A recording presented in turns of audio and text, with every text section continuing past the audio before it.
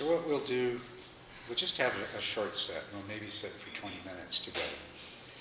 But uh, for those of you that are not uh, used to doing this, as I say, place your attention on the sensations of your breath, and you'll find that your attention doesn't stay there for very long. And that's all right when you realize that you're no longer paying attention to the sensations of your breath.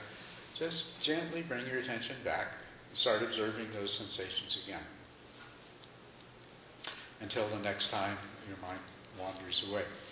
Now, uh, actually, there's two kinds of things. What, one thing that will happen is that uh, a, a, thought or sound or something will take your attention away briefly, and, and you'll forget the meditation object, but you'll remember it right away. When you do, just bring it back. The other thing that will happen is a thought or, or some other distraction will take your attention away from the sensation of the breath. And you won't realize it right away. And that thought will lead to another thought, and will lead to another thought, and you may have a long period of mind wandering. And so you can expect that to happen too. But the same thing, at some point, you will realize that you're no longer paying attention to your breath. So whether it happens immediately or whether it happens after five minutes of mind wandering, what I really want you to pay attention to is the difference in the state of your mind in the moment when you realize that you're not doing what you intended to, as compared to the immediately preceding moment when you were lost in some thought about whatever. Because it, in that moment, you are going to be more wide awake, more present than you normally are. And that's actually where you want to be all the time. And one of the purposes of meditation is to help bring us into the present so we are fully present, not only fully present, but fully aware. The sensations of your breath that you keep returning to are happening right now. And your mind can dull out and zone out and you won't perceive them very clearly, or you can be very, very clearly, uh, intensely, uh, vividly aware of those sensations. And so don't worry about anything that happens. All your, uh, the, the, whole purpose of, of what you're doing is training the mind so that your mind will uh, stably attend to whatever it is you choose to uh, observe or investigate, and that secondly, that you'll do it with a uh, strong mindfulness, powerful mindful awareness. So this is where meditation takes us to the place of having, having a trained mind that allows us to observe whatever we want with powerful mindful awareness. So right away in this first, for those of you who've never meditated before, you're going to get a taste of the whole thing. That that that taste of uh, awakening to the present that you'll have every single time you realize that your mind has wandered. Uh, notice that and savor that and recognize that for the, the kind of uh, awareness that you want to have all the time. And then try to try to keep it, try to hold on to it for as long as you can when you go back to observing the sensations of the breath. In the process of this, you will, as I said, you'll discover how busy your mind is. All you're trying to do is just sit here, relax, be completely peaceful, uh, and watch your breath go in and out. That's what you're trying to do you're going to discover your mind is just all over the place. And if you pay attention to it, you'll probably end up asking yourself, why on earth is that stuff even in my head to begin with? Because uh, a, a, lot of it doesn't make that much sense. But uh, that's the essence. That's the essence of what we're going to do. And that should probably give you enough to go on uh, for this for this little sit that we're going to do together. Do you have any questions about it? You think you know how to do it? Um, you'll find that the human body is not used to staying still for very long. And so 20 minutes is probably going to seem a lot longer than uh, it usually does. You'll have the thought, uh, you know, I'm sure that timer that Joel gave him isn't working. We must be into the second hour now. but it won't be true. Um, if, if the discomfort in your body becomes strong enough that it is definitely interfering with you just trying to pay attention to your breath, then uh, play a little trick on your mind. Instead of paying attention to the breath, pay attention to that uncomfortable sensation. And then meditate the same way there. You'll be, it'll be easier to stay with the uncomfortable sensation than it actually is with the breath. Yes? How important do you think it is to keep the body still? It's very important to keep the body still. Uh, the reason is, if you sit still for very long, uh, there comes an urge to move, and the subtle sensations expand in your mind to become desperate needs to relieve something by, by moving. And uh, unless you, right at the beginning of your practice, overcome that, your practice will become a process of sitting there wiggling and jiggling and stretching and shifting and straightening and unstraightening one leg or another and trying to trying to get comfortable. No matter how long you sit for, it'll be a period of doing little other than trying to get comfortable. Uh, because it's a self-reinforcing process. If uh, you have discomfort, you have the urge to move, and then you move, then that uh, that causes the next discomfort to arise, and the process just accelerates. And uh, if you sit for an hour without being still, if, if you were to actually look at uh, how most of that time is spent, most of that time is spent noticing and thinking about this discomfort or that, and deciding whether to move or not, or when to move, and all of these other sorts of things. And that does not accomplish the goals of meditation. So sitting still is very important. So try to sit completely still. Now, you may come to a point, and especially if this is your first time sitting still, the first time you sit still for 20 minutes in your life, you might come to a point where you absolutely have to move. And that's all right. When you reach the point that you know you're going to move, then go ahead. You have this clear decision. Okay, I am going to move. So decide exactly how you're going to move. And be mindful of that movement in the same way you be mindful of the sensation of the breath going in and out. And once you've made the movement, go back to observing the sensations of the breath. And wait until the next urge to move comes, because it will. the point is that uh, to the best of your ability, you try not to move. And if you do that in, uh, in a fairly short period of time, you won't any longer have the need to move. And you succeed in not moving by, if discomfort becomes strong enough, taking that as your meditation object. Uh, and then it, what, what will happen won't happen the first time necessarily, but it will happen if you do that. If you have a pain in your body and you take that as your meditation object, and you investigate it and you look at it, you see where it is and how big it is, and whether it's moving or not, whether it's getting stronger or weaker or not, you know, uh, just investigate it, just examine it. It will, sometimes it will just disappear, and then you go back to meditate. Other times it won't disappear, but it will just become a sensation and it will no longer be bothersome enough that you uh, need to pay attention to it. So then you just go back to your meditation object and continue with your meditation. But anytime it becomes strong enough that it is successfully drawing your attention away, rather than interrupt your practice, and your practice is just to be paying attention to what you intend to pay attention to, rather than letting your mind do whatever it wants. So if at any time it's succeeding in drawing your attention away, then you finesse the situation by taking the discomfort as a meditation object. And that should work even for those of you who don't use a meditation object and are doing just sitting. Any questions? Everybody ready to sit? Get as comfortable as you can. Make yourself comfortable. Close your eyes. And uh, I always find that it is very useful in the first few moments when you're sitting after you've closed your eyes. Become fully aware of your body. Just feel feel the uh, weight of your of the weight of your body that is uh, pressing against the cushion.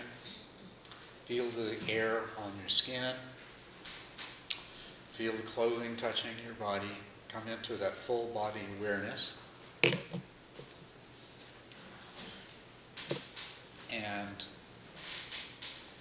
then, if you're doing the practice I just described, then just bring that awareness to the to your nose and begin to observe the sensations of the breath as they go in and out. And this timer will go 20 minutes from now.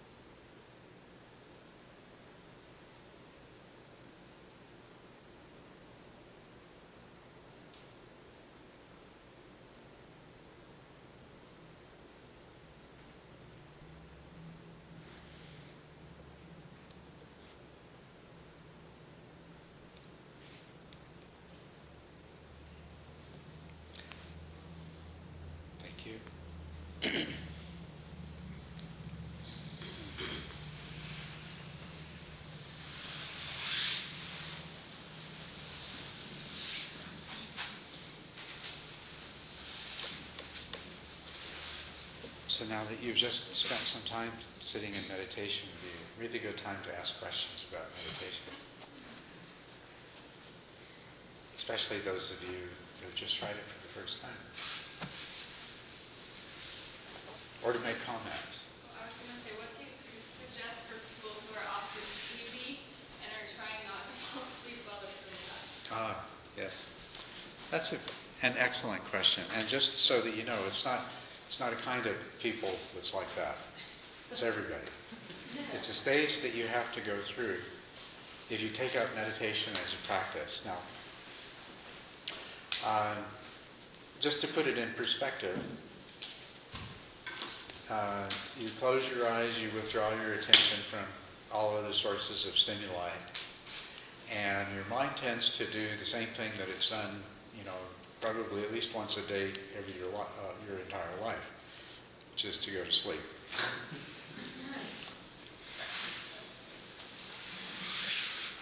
And uh, if you've just, if this is your first time meditating and you experience that, that's not at all unusual.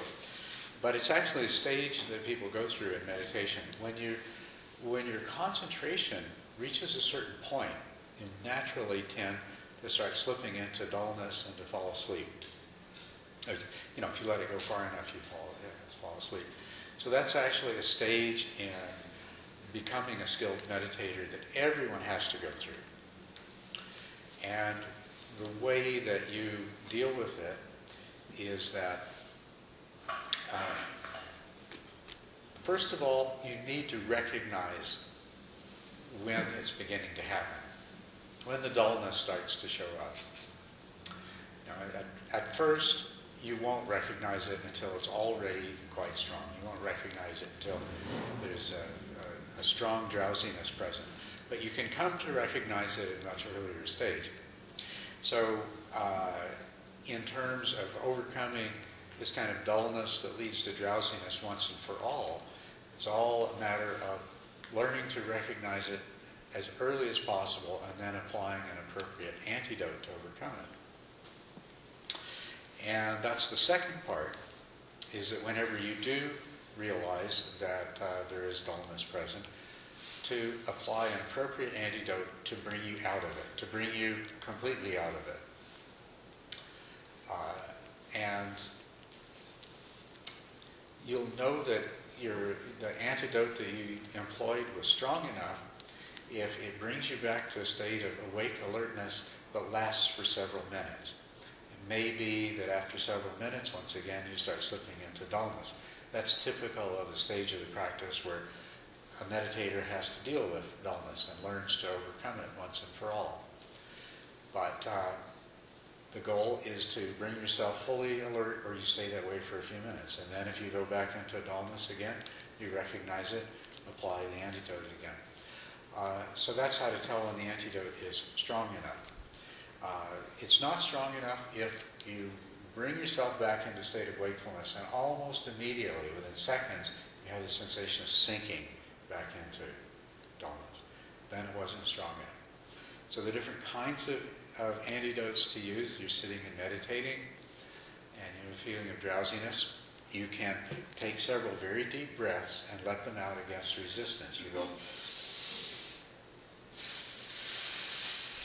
and as you do that, you'll feel the rush of energy and it'll wake you up. And if it was strong enough for the dullness that you were dealing with, it will last for, for several minutes.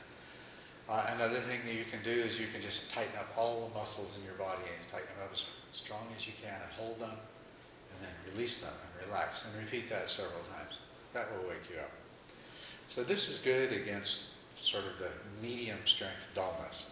It's just the beginning of, of actual sleepiness, a kind of drowsy feeling, but uh, you, you're, you're not already into the nodding state.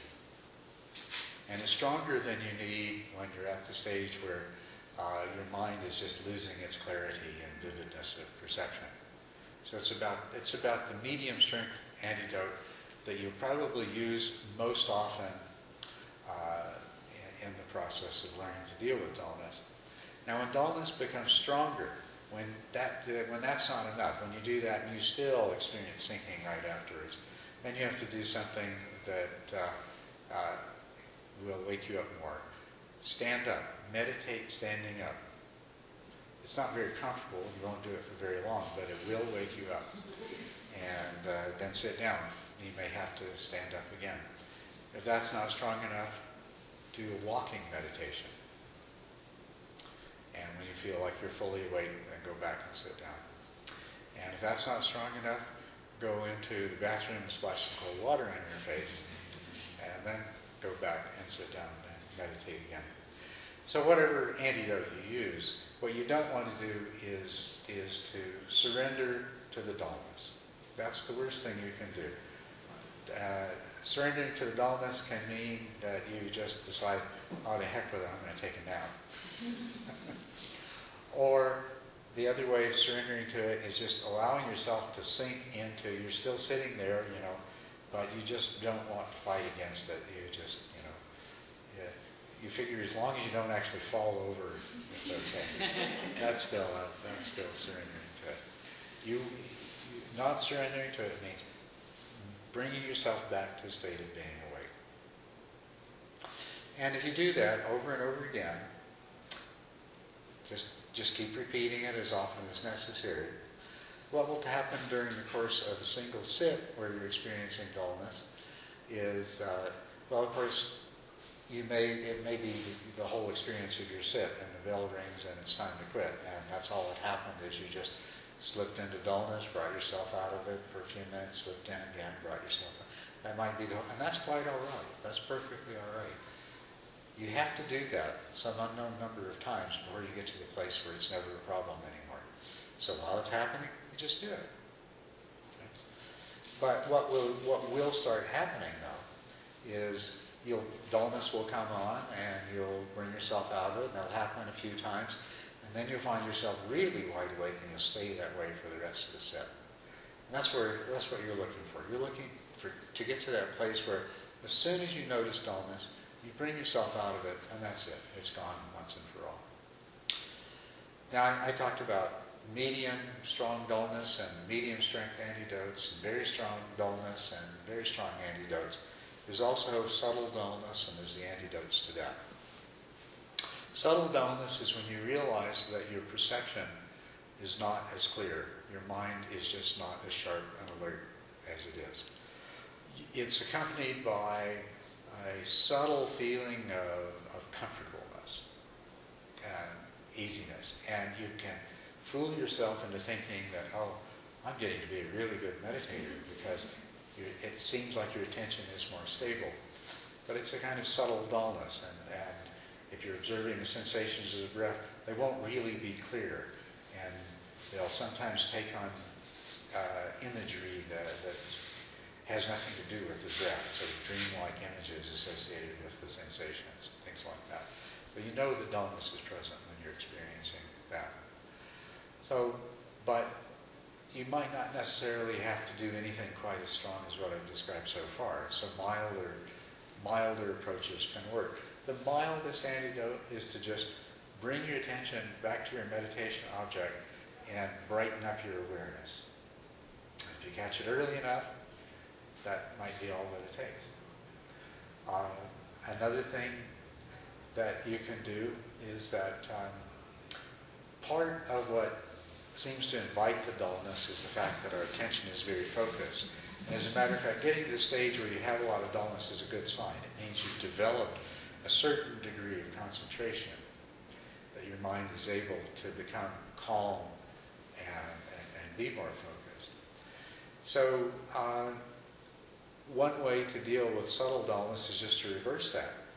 Instead of having your awareness focused, become aware of all the sensations in your body. Just to expand your awareness. Uh, expand your awareness to include sounds. Expand your awareness just so that you have that perception of being in the place that you're in, you know. And, and that should bring you out of it, and then you can go back to uh, practicing as you were before. Another thing that's very helpful when dullness is not very strong is to uh, open your eyes. And meditating with your eyes open is a very good way of overcoming subtle dullness, and it's something that is worth uh, learning to do. At first, when you do it, you might find it agitating to the mind and, and distracting. And of course, it's the very same thing that causes it to be agitating to the mind, which allows it to be a good antidote to dullness. But those are different ways of dealing with it. So, uh, I'll just reiterate the most important principles is recognize it as soon as possible. Uh, don't get into a bad mood about it. I'm having a terrible meditation because I'm dull or I'm drowsy. And match the antidote to the to the dullness so that it's sufficient to bring you out of it for several minutes at least. And that's it. And uh, everyone who meditates goes through uh, a stage where they have to train their mind not to retreat into this dull state. And it's a very important thing to do. If you don't do that, you can develop the ability to sit in a mild state of dullness and convince yourself that the that the focus and the comfort that you have in that state is good meditation, and it's not. It's actually uh, pretty much a waste of time. I mean, it, it, accomplishes the same thing for your mind and body that having a cat nap does. You know, but other than that, it's uh, it's not it's not good for very much. Um, would you address body posture and alignment, the importance of that? The question is, uh, would I address body alignment and posture and the importance of that? Well, from my point of view, the most important thing about your posture, that your meditation position is that it be comfortable for you in terms of your particular body and its needs to allow you to sit and not be unduly distracted by physical discomfort. So you can meditate. There's many different meditation positions. Uh, this is called cross-legged. The Burmese position is with one leg in front of the other. Then there's the half lotus with one, one foot on top of the other, and the full lotus with the feet on opposite knees. Uh, sitting in a chair, uh, sitting, uh, uh standing, lying, walking. There act- actually is no one meditation posture. The most important thing about your meditation posture, above all, is that you can sit for a good long period of time, at least a half an hour, preferably an hour or more, without your body getting in the way of meditation practice. The, the word for meditation in uh, uh, the, the language of the Buddha is bhavana, and it means mental training. And so that's what meditation is, is training your mind. You don't want your body to get in the way of something that is primarily involving your mind. And so find a, play, a position that's comfortable. Keep in mind, if you're too comfortable, unnecessarily comfortable, you'll fall asleep more easily. Um, and also keep in mind that it is next to impossible to find a position that is completely comfortable for a long period of time. Um, even when a person goes to sleep, they keep moving because there is no position that the body stays completely comfortable in for very long. So, uh, find the most comfortable position to sit in that you can and experiment with it. Uh, sit on benches uh, if you need to. Sit on cushions. Uh, put supports under your knees if you need to. Do whatever you need to to get comfortable. In general, you will find that um, sitting in some kind of cross-legged position for most people, unless you have hip or knee problem, sitting in some sort of cross-legged position will be, whether it's uh, cross-legged like I am, or Burmese, or, half or full lotus, is probably going to be one of the best positions. It still may need some tuning on it. You may need to uh, put a cushion under your buttock, like one of these uh, uh, zafus that uh, several of you are using. Other people may need to put a cushion under one knee or the other or both and fine tune that, you know, that a half an inch of elevation and support can make a world of difference.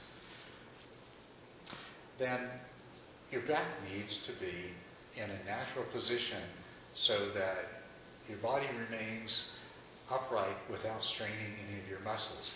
If you slump forward, that's going to that's going to produce tension, pain, spasms, and the muscles in your back. If you lean too far back, same problem.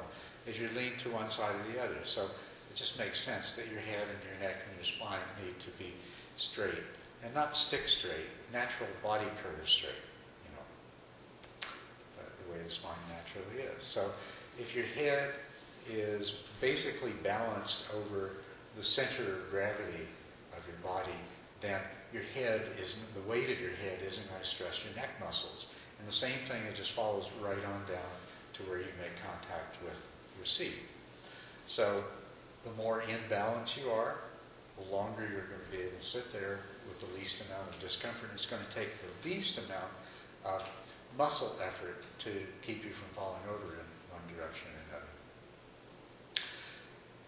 Sometimes you'll come across all this stuff about how absolutely it, important it is that your spine be straight because the prana or the inner winds or the chi has to do this or that. And uh, don't worry about that. You, when you, if, if that's ever going to be important, it's going to be quite a ways down the road a advanced state of practice, and most likely it's never going to become an issue. Okay. Uh, you want your shoulders to be even for all the same reasons I just described. You want your arms in balance. And usually to support your hands, you can put your arms resting your hands on your knees or in your lap. And most people are going to find the lap is more comfortable. Uh, this does produce some tension in the shoulders, and most people will find that that's not quite as comfortable as putting your hands in your lap. If you put your hands in your lap, uh, you need, you know, my trousers or shirt or whatever it is usually make a fold that's just enough to support my hands, the weight of my hands, in the right position. If the way that you're doesn't do that and your hands are down here, this is going to create tension as well. So if you sit with your hands in your lap, they should be just, just about where your belt would be. And if you need to take a small cushion or a rolled up towel and put that, you know, there to rest your hands on, that's fine. Go ahead and do that. Better than having your shoulders aching 20 minutes into your sit, you know, feeling like somebody's sticking knives in between your shoulder blades. So, but if you if you balance your body in that way with your hands and your arms and your shoulders at the same level, and your uh, uh, back straight uh, front to back and side to side, your head, neck, back in alignment, then that's the most important thing. Could be cross-legged on the floor with appropriate cushions, could be in a chair, or whatever. Most important thing, though, is to get to that place where you can sit easily for as long as possible. If you really get into meditation, if you start to discover some of the wonderful things that come with meditation, you could very well find yourself sitting for several hours at a time. But you can't do that if your body is aching. Um, and as far as the bodily discomfort goes, as I mentioned, there is no position that you can sit in that is perfectly comfortable. But part of learning to meditate is learning to uh, focus your mind in such a way that the minor discomforts of your body cease to be a problem. And as a matter of fact, if you develop concentration, there's a particular stage in the development of concentration where the perception of your body, to- body totally changes, and there is no pain and discomfort at all, absolutely none. Your body feels perfectly still, perfectly comfortable, and you feel as though you could sit forever, and you can certainly sit for hours. And, and it's not like there's some pain there that you're ignoring. There's no pain at all. As a matter of fact, it, the stages it goes through, at first it's just very still and comfortable. Then your body just starts to be suffused with this subtle pleasure. You know, it's very, very delightful. You don't have any of the normal sensations. You can't feel your shirt against your skin. You know, all you feel is this, this lovely, subtle, pleasurable sense that replaces the normal sense of the body. Yes. I have a question about uh, external and internal sounds. What do you do about that? I mean, I get like uh, subtle internal sa- humming or hissing or buzzing or type things, and then there's external sounds. Well, disregard internal sounds the same way you would that you would external sounds. That's hard. That's, my mind just goes towards it like a bee, like a flower. Like I don't want to fight it. Well, and if that happens, uh, you might try facing it slightly away from me. Maybe that would. If if that happens, what you can do is you can focus your attention on the internal sound for for a little while, and it should have the effect that your mind will lose that fascination with the sound, and then you could go back to whatever other meditation object that you're using. But it's not good to use that as an object rather than Well, actually, you can, and there are uh, there are meditation practices that do that. If you if you meditate in such a way that you develop strong concentration, uh, you will develop. Uh, uh, there's several things that happen. One of them is that pleasant feeling in the body that I mentioned. Another one is that you'll have an experience of there being a light behind your closed eyes, uh, which can become very bright. And another one of them is that you'll hear a sound. And for some people, it can be a very beautiful, pleasant sound. For some people, it's just a buzzing or, or whatever. But all of these are, none of them are important in themselves. Um, they are evidence of the developing, uh, your developing skill in meditation and the power of your concentration. But they can be used as a meditation object. The lights, some people will, when the lights arise, they will cease to attend to their other meditation object, take the light as a meditation object, and use it to enter deep states of absorption that are called jhanas. Um, and you can also do something similar with the sound. There's a kind of meditation that is used by some Indian schools. It's called light and sound meditation. And that's what they do. They develop concentration until the light comes and the sound comes, and then they use that as a meditation object thereafter. So uh, there's nothing essentially wrong with that, and it, it can it can be turned into a productive meditation object. But I would say, for most people, in most cases, the best thing to do with these things is just to just to let them be. Just after a while, they become a familiar part of what happens when you sit down and meditate. They are a way that you have of gauging the, the, the depth of your own concentration as it's developing. Yes. You know, for some people that maybe have uh, a lot of things going on, it would be better for them to like set aside a large block of time, let's say once a week, or a small amount of time on a daily basis in order to, to develop your meditation practice? Uh, the question is whether it uh, would be better with somebody who has a lot of things going on in their life, whether it's better to set aside a block of time once a week or to have a daily meditation practice. And I, I would recommend the daily meditation practice because most of us, you know, do have a lot going on in our lives, and maybe more at sometimes than others. So, uh, if you could take the approach that if you develop your meditation practice with a mind that has an ordinary sort of level of distraction taking place in it already, then you're going to develop the skill to, to calm that mind down. And then you're going to have the benefit of that skill, the benefit of that calm mind as you go about your daily activities.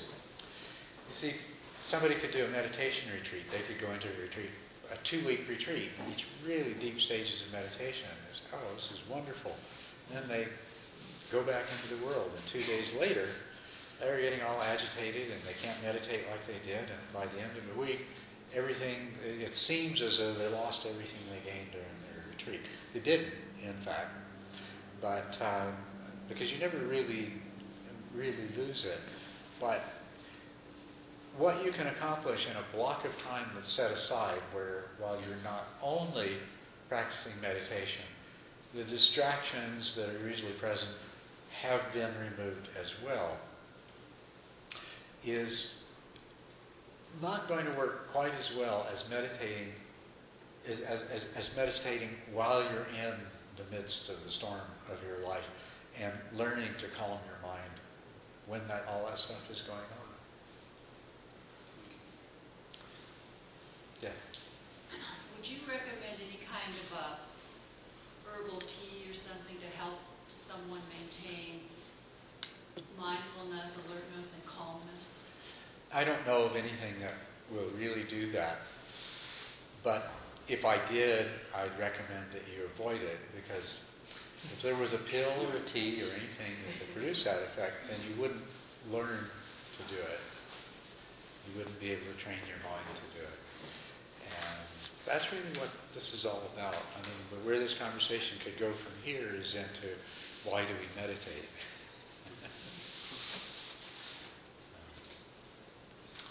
and we meditate we meditate to to train the mind to cultivate uh, the ability to focus what in our ordinary speech we would refer to as concentration but basically uh, to have control over the movement of the mind and the other thing that we uh, train ourselves to do in meditation is to be in a very uh, high state of alert awareness, to have powerful mindful awareness. And so we meditate in order to have the kind of mind that it really serves us to have. Our objectives could be many. It, it brings calm, it brings peace, it makes it easier to deal with stress, it lowers blood pressure, uh, it has many beneficial effects on the body and the mind. It uh, makes us less reactive and allows us to deal with stress more easily and difficult interpersonal interactions and all of these other things. There's all kinds of benefits that it has of that nature. But if we take it to the next level, we're developing a mind that can be focused with powerful mindful awareness so that we can begin to discern our own true nature and the true nature of reality. So we want to get to that place. And then to use that focused and aware mind to carry out that kind of investigation, to find out why life is the way it is. Why, why am I the way I am? And why, why does my life unfold the way it does? And uh, could it be better? So as meditation, would you consider it kind of the pivotal point of your practice, of your larger practice of, of, of, of you know, studying the Buddha's Dharma? Uh, pivotal point in the practice of the Buddha Dharma. Yes, I would. Um, because you, you are, without the skills that you develop in meditation, you're just simply not going to be able to do the other parts of the practice. You know, practice mindful awareness in your daily activities. Well, if you don't meditate, you know, that's a that's a nice idea, but it's just never going to happen. Right? Even if you even if you meditate, uh, you'll have the experience that well, I, I meant to be mindful today, but uh, maybe I was for a few minutes here and there, you know. But if, if you don't train the mind in, in focus and in mindfulness, it's never going to happen. That's most likely. Uh, actually, there's there's an interesting thing about the way the Buddha Dharma builds on itself. There is uh, there's the practice of virtue, which involves keeping precepts, and what they all come down to is not doing anything that's harmful to yourself or others. That's the simplest terms. It's uh, right speech, right action, right livelihood, and we could break all those down and, and talk about them. But, but right speech, right action, right livelihood is speech. Uh, it's, it's, it's speech, action, and livelihood that doesn't cause harm to either yourself or other beings.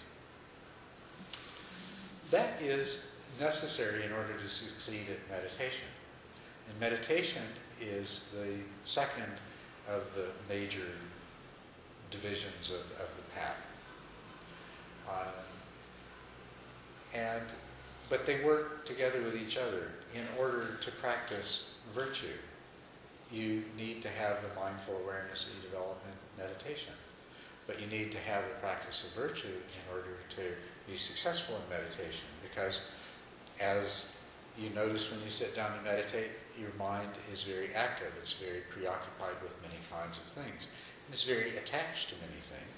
A lot of the things it's attached to aren't particularly wholesome and they're not doing you good.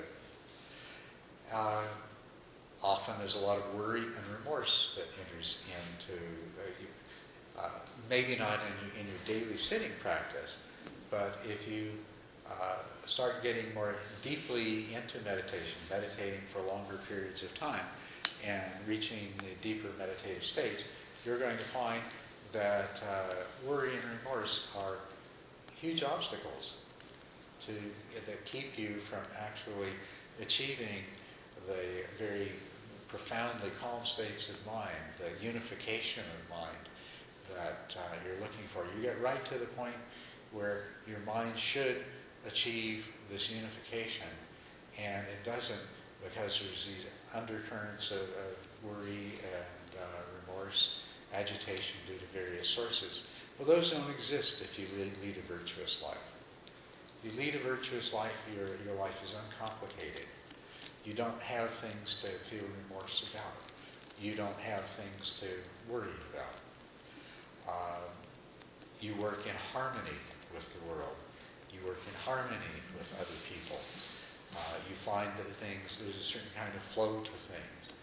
You develop a certain kind of trust, trust in yourself and trust in the world, that one way or another, things are going to turn out uh, the way they should. And this allows your mind to be very calm and to enter into the very deep states of meditation that uh, you would like. The third part of the path is wisdom. So there's virtue, meditation, and wisdom. And they all work together too. You have to learn a little bit, acquire a little bit of wisdom to understand, to really understand what the point of being virtuous is, and also what the point is of investing the time to develop skill in meditation practice. But it keeps working together with the other two, and the wisdom is ultimately the culmination because uh, in practicing the Dharma as a whole, if you get to that place where you see things as they truly are, then that is the wisdom that you're after, seeing things as they truly are. And that wisdom is liberating. That wisdom will free you from all future suffering. That wisdom will replace desire and aversion in your heart with love and compassion. And so you'll get out of bed in the morning not due to um, worry, fear, desire, and aversion, but you'll get out of bed in the morning uh, motivated by love and compassion. And uh, that's the fruits of, of, of real wisdom. But you don't see things as they really are with a mound mind that's bouncing all over the place and either falling asleep or, or uh, uh, latching on to some useless idea and, and, and just running it around around and around like a hamster on a wheel. You, you see the true nature of things and you acquire wisdom with a mind that can be, can be focused and directed appropriately and then can investigate in a, in a penetrating way to see what is really there behind the illusion, behind the appearances that uh, we're lost in all of the time.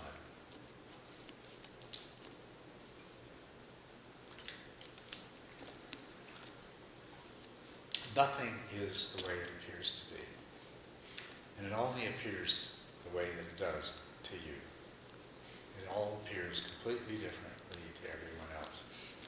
Every single one of us is in a different room with a different group of people.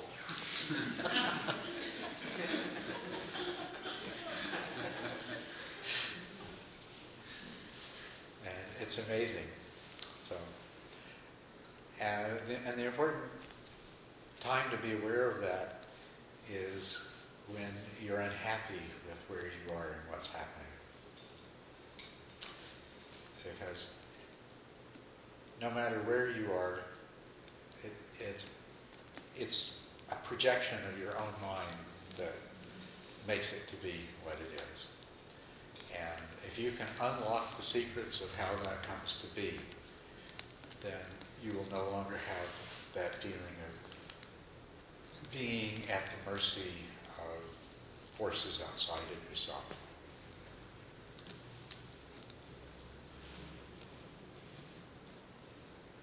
Yes? In the beginning stages of meditation, um, are things happening to your mind and body even if you're unaware of it? Positive? At, at the beginning stages of meditation, are things happening to your mind and body that you're not aware of? I, I, I'm not sure what you mean by that. Could you clarify that? Mm, Many, many of us may feel discouraged that we're not making progress. Oh. Getting somewhere. Yes. And that, yes, are there things happening that you're not aware of that you can take encouragement from? Absolutely. Very good question. I'm glad you asked that, and it is very true. You see, your mind is doing what it's always done, and actually what it needs for you to do to survive in the world. You have a limited capacity for conscious awareness, which means to be at all effective in any situation, uh, you need to be applying your conscious awareness to whatever is most important at the time. And so the way that your mind works is if you're attending to something and it no longer seems so important, your mind casts about looking for something more important to pay attention to. As a matter of fact, even when you're attending to something that is important, your mind has a tendency to keep checking around to see if there's something else that's more important. And it's a good thing it does this, right? It's uh, part of what helps us to survive. So when you sit down and meditate, and say, uh, I'm you ask your mind to behave in a way differently than it normally does. It's going to take a bit of training to accomplish that. But we know that we can direct our attention and we know that we can sustain our attention. It happens all the time. We have the capability for it. So what we're doing in meditation is we're actually training that particular capability that we already have. We don't lose the mind's natural behavior of uh, searching through all of the different sensory do- domains and searching in the mind itself for you know the, the things that you're supposed to remember to do and the phone calls and the, uh, and the things that need to be attended to. You don't lose that ability, but what you do is you train the mind that when when you're meditating or whenever you want it to, the mind can cease this searching behavior. Now, in that process, though, there's going to be a period of time before the training takes hold. You know, it's like training, uh, it's training a puppy. There's another uh, meditation teacher by the name of Jack Kornfield, and he talks about meditation as training the puppy. And it's really like that. You're trying to train the, the, the, the puppy to, to go on the paper. So every time the puppy does the wrong thing, then you correct the puppy. So in meditation, every time the mind goes off and does something else, you just gently bring it back until uh, uh, it begins to come back by itself. The, the capacity for directed attention is actually an innate uh, mental faculty that we have, what we need to have. I mean, can you imagine what it was like if we were incapable of intentionally directing our attention? So we can. We have a, we have a mental faculty called directed attention. And when we train that, then if we meditate, after a while, the mind will start automatically coming back. But it takes a while. You have to repeat the process enough times before the mind starts to do that. We also have a, a, another mental faculty that is, we could call sustained attention. And it's a good thing we have that, you know, because every time you find yourself needing to dismantle a bomb before it goes off, you know, you need to use sustained attention, right? So we do have it. So you're training the faculty of sustained, sustained attention so that once you're once you're directed back to where you want to be, you don't take off in another direction again. That too takes a while. So you start practicing meditation, and you're going to have to repeat these processes over and over again until these until these mental processes are adequately trained. But every single time that you correct the puppy, if you do it in the right way, you're a step closer to having completed the training. And so it can be discouraging if you don't know that. You sit down and say, well, my mind, I still forget the meditation object, my mind still wanders. And here's where you can do yourself some real harm. You start to develop a negative mental attitude about it. You get angry at yourself, or if you identify your mind, you get angry at yourself. Or you get angry at your mind if you dissociate from it. I want to do this and my mind won't behave. so you don't want to get into any kind of a negative mental state about it. Instead, you want to positive reinforcement works. The the tendency of your mind to go look for something more interesting, and if it finds it, to get lost in that which is more interesting, is a natural and actually, in terms of your daily life, not a bad thing. So it's, it's, it's a, and it's a natural thing. In training your mind, what you want to do is positively reinforce the right things rather than negatively reinforce things that you're not going to have much effect on. So, if when your mind, when you forget the meditation object your mind wanders, if you get mad at yourself, that's going to have the effect of when your mind realizes it's not doing what it's supposed to, it's not going to bring that into conscious awareness. Right? Think of it this way. I, actually, we're talking in all the wrong language here. The mind is not one thing. The mind is many different mental processes. And uh, you know, one mental process says, I want to sit down and learn to meditate. Another mental process says, well, why don't we have a nap or go watch TV or you know, go down to uh, St. Elmo's and have a beer with friends, something like that, right? All these different things going on at once. There, there is no, there is no one cohesive uh, thing in, in this mess. So, when one part of your mind formulates the intention to meditate and remain on meditation object, then other parts of the mind are going to want to do something else. But there is another mental faculty that you have too. And this is one that is always checking to see if you're actually doing what you're supposed to be doing and if it's producing the results it's supposed to produce. And it's a good thing we have that. It's, and, and it functions at an unconscious level just like all these other things do that is what makes you aware of it when your mind is wandering. You know, you, you started out meditating, you, then your mind went to this, and then to that, and then to something else, and then it's lost in that something else. And then suddenly you wake up to the present moment and you realize what's happening. Well, you didn't do that. It was an unconscious mental process doing its job that turned on the light and said, hey guys, you know, what's supposed to be happening isn't what's happening. And what you want, you want that to happen more quickly more easily and more often. It doesn't matter how you'd like to have the light on all the time. So it's really important what you do in that moment of realizing that you were planning your next great project and not meditating. If you get mad at yourself, then then that very mental process that made you aware that you were doing this says, ouch, I'm not going to do that again. it's not it's not going to be productive. Beating yourself up isn't going to have much effect on that other mental process that said, hey, the sensation of the breath are boring, let's go find something more interesting to think about. Because it's been doing that all of your life. And it's going to keep on doing that when you get up from the meditation seat so that you don't absent-mindedly step out in the street and get hit by a car.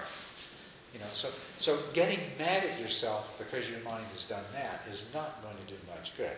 But feeling really good about it when your mind brings you into the awareness that something was happening other than you intended, that's going to be have a very positive effect. So never allow yourself to develop any kind of mental attitude that is uh, negative, self-critical, uh, doubt, uh, dissatisfaction with regard to your meditation practice.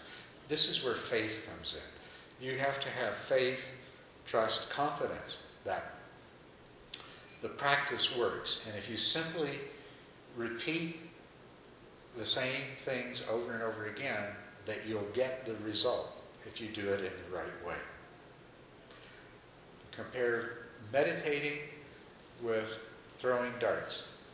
You know, learning to throw darts.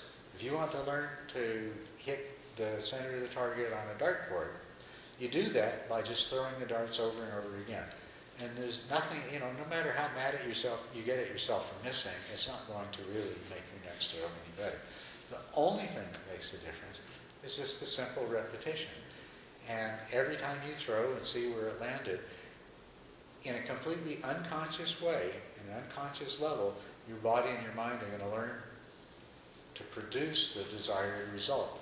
So if you sit down and intend to meditate according to the whatever method you're following, and you follow the instructions, they will produce that result. So you have to have the confidence that indeed something is happening in your mind that you might not be aware of that is, is going to eventually lead to the desired result. Because it most definitely is. Yeah. Um, do you see, do you see um, advantages of meditating in a group rather than by oneself? Yes, there are two. One is that meditating in a group, um, it, it helps you to overcome whatever tendency you might have to procrastinate and not meditate. It makes it more fun. You know, you get together with, with uh, somebody else to meditate or with a group to meditate. It, uh, it, it brings in your natural inclinations for sociability and company and things like that. And, and so it uh, reinforces your own commitment to the practice. So that's one of the things that it does. The second thing that it does is subtler and a little bit more difficult to explain. But it's like if several of us sit down together and we start to meditate, there's sort of a psychic resonance that takes place, and, and we're all going to help each other in, uh, in our practice in that way. And if you can, if you can have Uh, one or more people in the group who that you meditate with, who has been meditating for a long time and is very skilled and can reach the more profound states of meditation, everybody is going to notice the difference because you're going to you're going to tune into that resonance at some at some level that is difficult to explain. You're going to you're going to synchronize, your brain waves are going to synchronize with uh, the uh, skilled meditator's brain waves, and, and you'll have a better set. Um, one of the ways I see how important it is to follow the breath is thinking, what's the first gift when we come into this world? It's yeah. breath. And what's the last thing that's taken away is the breath. That's right. So is not every breath in between just as important as that first and the last? I mean, it's sort of like scriptures say, the holy breath is just breathed into us. Yes. And every single one is telling us who we are. That is absolutely true. And then what's even more awesome is to realize that very life force is going through every, every living being Mhm. at the same time. Yes. To, to keep those kinds of thoughts in mind is, is very good. It reminds me of uh, there's a story.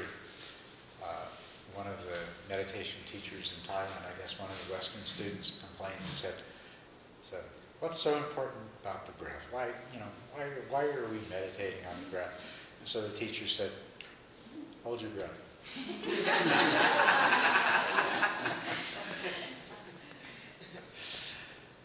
After a few minutes, the answer is obvious. Yeah. So, um, speaking of breath, how about counting your breaths, which is one of the ways that I first learned how to meditate, was whenever the mind was going off, come back to Yeah. one. Counting is a uh, counting can be a useful technique. Uh, counting can also quickly become absolutely useless because one part of your mind can happily count away while the rest of your mind is doing a world tour. So, it, to to retain its potency, it's best to use counting in uh, in moderation, uh, quite sparingly. Now, I suggest that people count the first ten count ten breaths each time you sit down. Um, I started to say the first ten breaths, but after you've been meditating a little while, let's count the first ten breaths. but to do counting, what you do is, is you uh, try to be continuously aware of 10 breaths in a row uh, and count them as each one, uh, you know, as you succeeded. But when, when you lose awareness of the breath or of part of a breath, if there's, you know, half of an in-breath where your mind was really somewhere else and, and, and you realize that, then go back to one and start over. And start over as many times as you need to until you get to 10. But then when you get to 10, don't bother going past that. And of course, uh, if your mind's not very agitated and you've been meditating for a little while, then that will be your first 10 breaths. The advantage of doing this every time you sit, counting the first 10 breaths, is it conditions your mind so that when you sit down and start counting breaths, you know, then it's sort of that's that's the signal that okay, we're meditating now. Time to let go of. Uh, you, in other words, you train your mind that when you start counting your breaths, it's time to let go of the worries of the day and the things you have to attend to later, and, and so it makes it a lot easier to to go into that meditative state. Now, another way of using counting the breath is.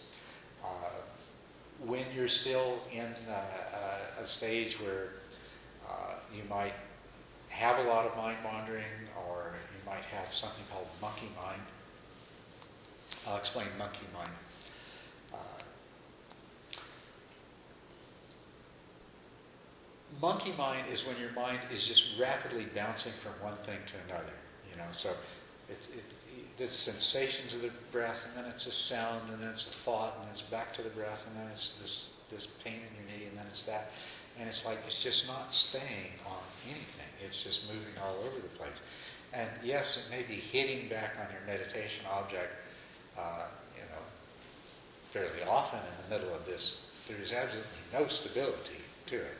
So that's monkey mind. And monkey mind's a really good time to start counting be very useful. Uh, and it, once you've succeeded in getting to 10, continue without the counting. But if, if the monkey mind comes back, then go ahead and count another 10 breaths. It's a really useful tool there. Um, if you're having a kind of sit where there's, uh, it, it's not monkey mind, but there is enough agitation that you're often forgetting the meditation object, uh, then you might go ahead and, and count 10 breaths again, not just at the beginning, but several times in the course of it. It's an aid to stabilize your mind when there's too much agitation present. But the problem with going beyond 10 is that you can slip into this automatic thing and it's not doing you any good anymore. You were talking about the different aspects of the mind, you a short-term focus, a long-term focus, the part of the mind that can see that you're that you've lost your intention, and what is the mind? Uh, and what when I when I get a feeling that I would call from my heart, is that my mind more body aware? And how much is the brain involved with what you're talking about? And how much is physical perception with seeing and hearing involved? And personal intention? It's very confusing. Okay, yes, I, I know. It certainly is. It's a, it's a word that is not very clearly defined. And we, we speak of the mind as if it is a single thing, and it's not. And we speak of my mind as if somehow it belongs to us, or, or at least uh, we're responsible for it, and it's not really true either. Um, I think it's very helpful to think of your mind as many different mental processes, most of which are occurring at, not consciously. That only a very tiny part of those mental consciousness, mental processes are in conscious awareness at any given time. And many of them are never are. They're, they're permanently invisible to conscious awareness. Um, to the simplest distinction to make is between mind and matter. So in that case, mind includes what you call the, the feelings and the in- inclinations and intuitions and things like that that you might uh, use other terminology for. You might say from your heart, but uh, if you if you just make the distinction between mind and matter, then heart is part of mind. Because obviously something coming from your heart isn't coming from that mass of pulsating cells that's pumping your blood around. You know, that's matter. But uh, mind is the mental stuff, uh, our emotions. Um, our emotions are mind. And there's actually different mental processes that are responsible for producing emotions. And um, they do so on the basis of the, the information that they get from other parts of the mind. So the emotions that you experience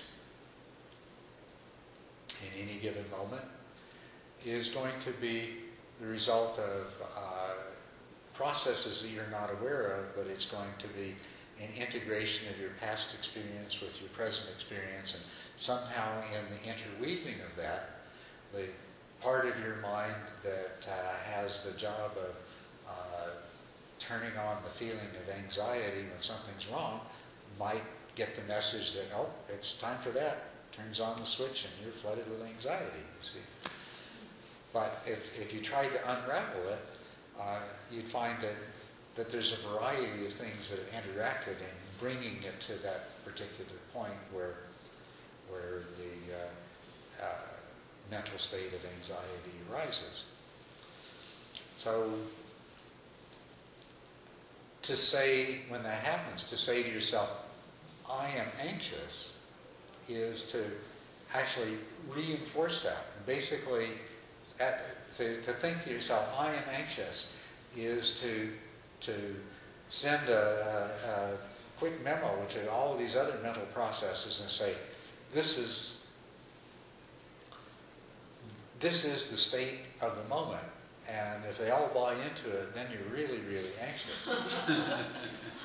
if instead you can look at it more objectively and say, oh, there's anxiety arising, obviously due to causes and conditions. I can't change the causes and conditions. All I can do is deal with the anxiety that, I, that has arisen. And if you don't buy into it, you're sending a different memo to all these other mental processes. It's, hey guys, we got anxiety to deal with. I need some help. Instead of, of, oh no, we're anxious. So, I don't know if that got to the gist of your question or, or not. Would you say that there are any levels that are higher than others? Is everything pretty much equally important to pay attention to? Or is the one that is aware of all the others a big guy? Well, actually, that's one of the things. There, there is no, there is no big guy at the top. Uh, our mental processes.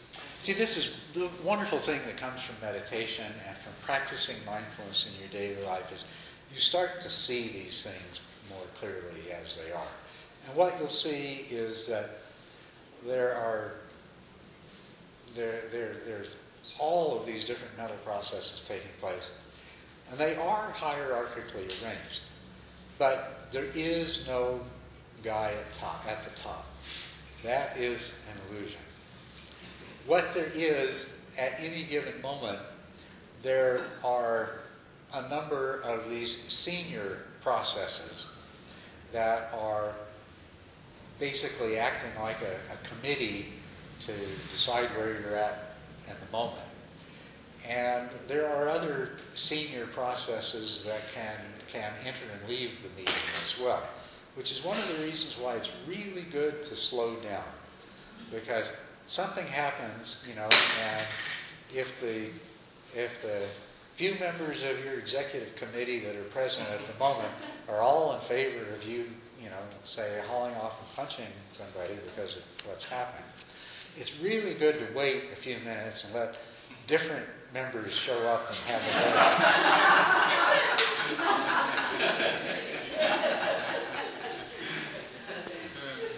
so there's really the guy at the top isn't really a guy at the top. It's more like a, a constantly changing uh, committee that that makes decisions. Sounds like a government. It is it is kind of kind of like a government, different in a few ways. And, uh, and that's what you know the the idea that we have that we are a self, that there is there is a self. This is a convenient illusion that our mind creates. It's very functional, you know. Uh, we, we tell ourselves the story of our lives and the story of who we are. And the, the I that we think we are, the self that we think we are, is the narrative center of gravity.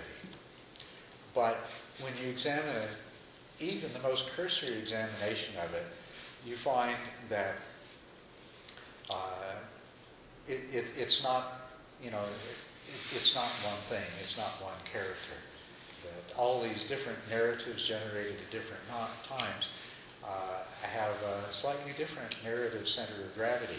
And you'd never be able to pick between them and say, well, that's my real self, and these others are not. Because that, that, that's just, that would, that would be nonsense. It's not really the case at all.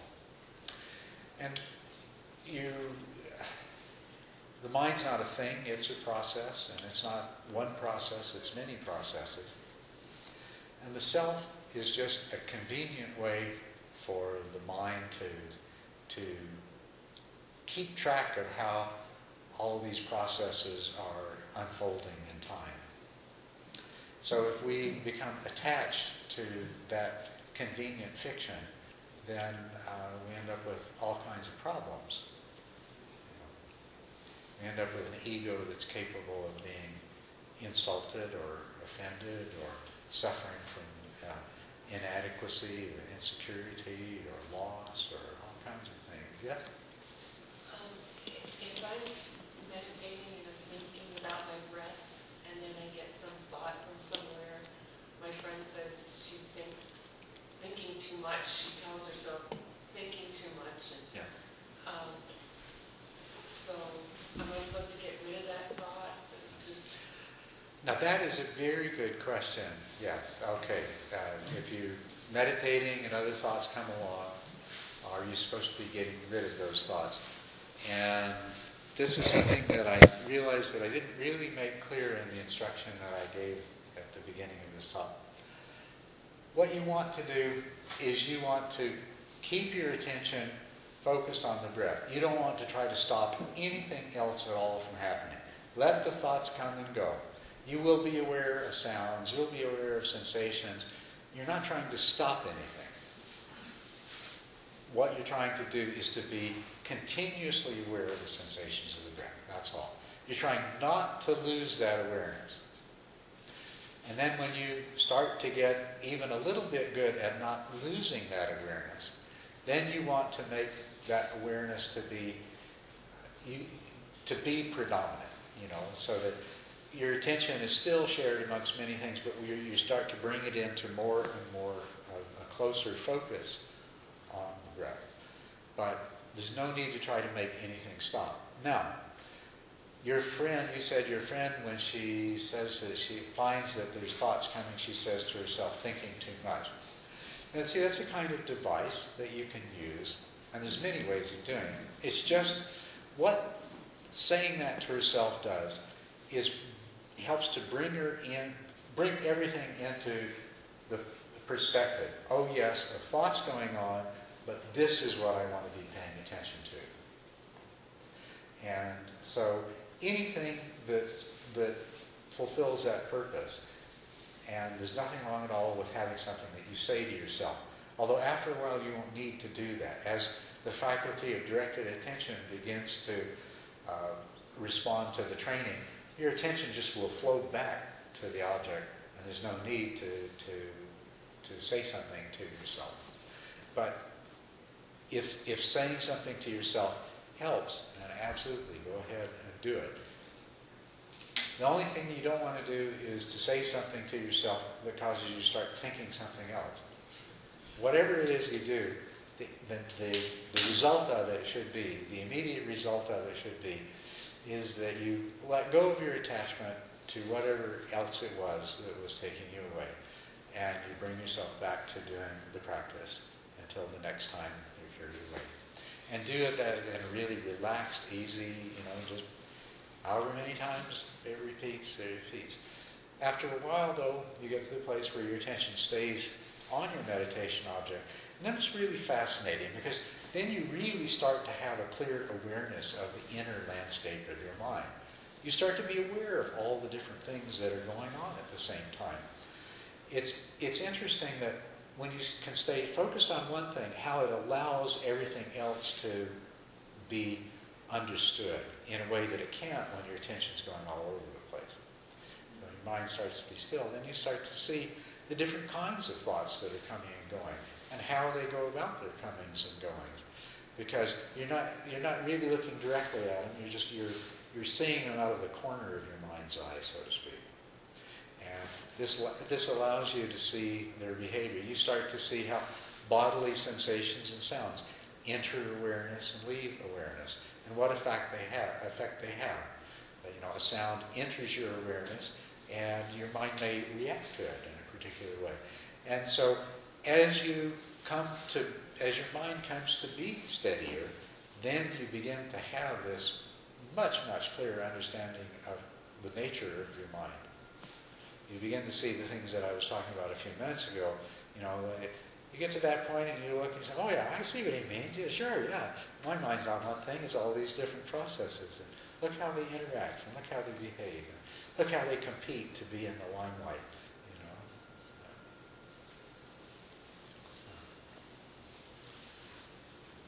But eventually, what happens in your practice, if you continue, you can uh, have an experience that's called single pointed attention or single pointedness.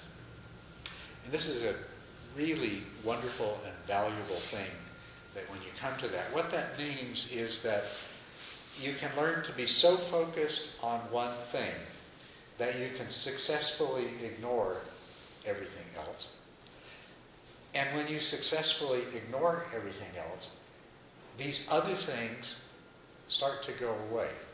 The analogy is, you know, that if you're if you're a parent and you've got young children and they want attention, you're doing something important, and they keep trying to get your attention. If you ignore them long enough, after a while they go off and find something more interesting to do. It's the same thing in your mind. If you can stay successfully focused on one thing and ignore all of these different thoughts and ignore these bodily sensations and things like that that come up, after a while they just kind of disappear.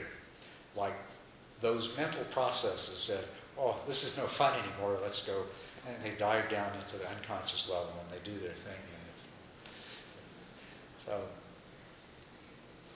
that, uh, that when, when you reach the stage in your practice that you're ready to cultivate single pointedness, then that is the first time that you could describe yourself as having an interest in seeing these other things go away. Until that point, it's all a question of letting them be. Let them come, let them be, let them go. And all you are concerned with as the meditator is keeping your attention focused where you want it to be focused while everything else does come and go. That makes it a lot easier. If you try to stop things from happening in your mind, you're going to have a very frustrating meditation. Because there is no you that's in charge that those other parts of your mind are going to respond to. Period. So maybe it's good to have the experience of trying just to satisfy yourself with that. If you think you're in charge of your mind. As a matter of fact, when we're talking about meditation, we're asking our mind to do really the only thing that our mental center of gravity that we think we are is capable of doing, which is directing our attention and attempting to sustain it. That is pretty well the limit of, of what, what we can accomplish in, in, in terms of will. You know, the, the limit of your will is where your attention goes. So make use of it.